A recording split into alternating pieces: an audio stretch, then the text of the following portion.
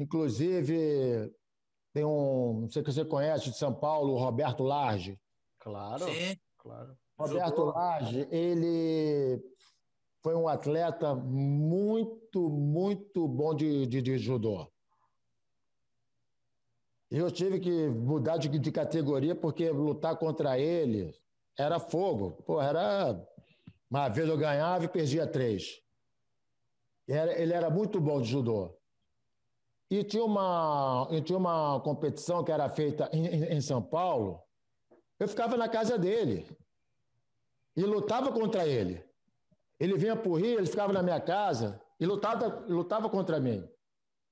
E, mas a gente era, porra, fora disso, a gente era um, era amigo, era, porra, era, ele chamava minha mãe de tia, eu chamo a mãe dele de tia. Virou, virou, virou família. Mas na hora da luta ali, então isso para mim é um negócio normal. Pô, competição é, é normal isso, você com, com, competir com uma pessoa que é teu amigo. Jiu-jitsu já foi diferente, realmente era uma rivalidade, mas não na minha cabeça.